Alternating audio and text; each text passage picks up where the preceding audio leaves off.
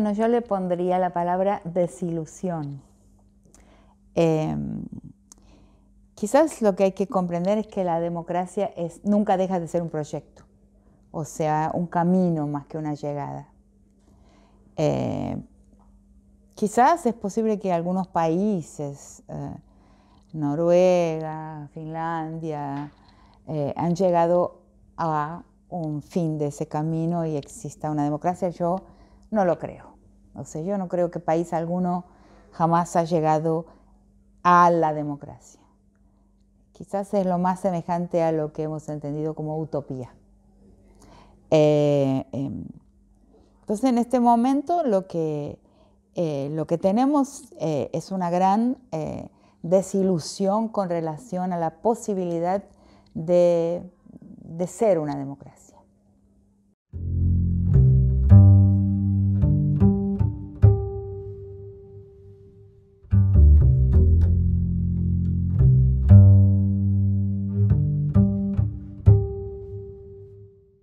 ¿Te parece que hay tabús? Nunca lo, nunca lo había pensado.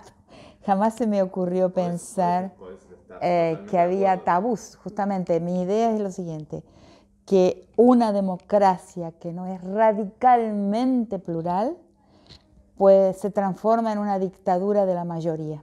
Y puede existir una dictadura de la mayoría. Y esa, ese peligro eh, es, sucede, se llega a esa situación peligrosa cuando eh, no pensamos en, la pluralidad, en el pluralismo, como la meta última de cualquier democracia, o sea, un mundo sin hegemonía. Entonces, eh, em, ¿cuál es el límite para ese, para ese pluralismo? Claro que tiene un límite.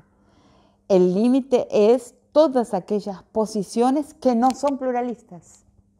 O sea, ahí encontramos la frontera de, de, la meta pluralista.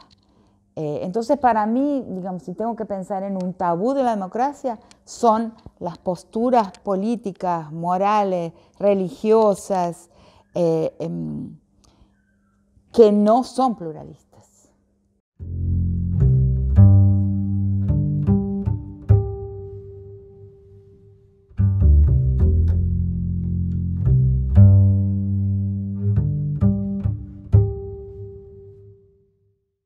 La democracia es un camino, como dije antes, no es una, no es una llegada.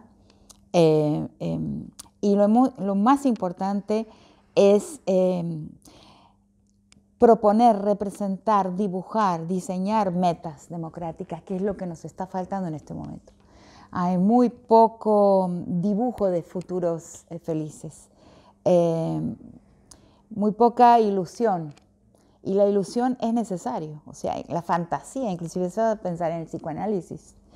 Eh, hay, hay, fantasías que son patológicas, son eh, tules muy gruesos que nos impiden realmente eh, tener un acceso, aunque sea filtrado, de la, a la realidad.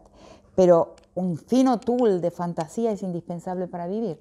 Cuando desaparece ese fino tul de fantasía, aparece lo que llamamos depresión. Y yo creo que estamos en una situación de depresión colectiva eh, que lleva inclusive a propuestas eh, políticas que son suicidas y la gente sabe que son suicidas y aún así adhiere como una manada, como un rebaño que va al, que va al muere como consecuencia de la gran desilusión.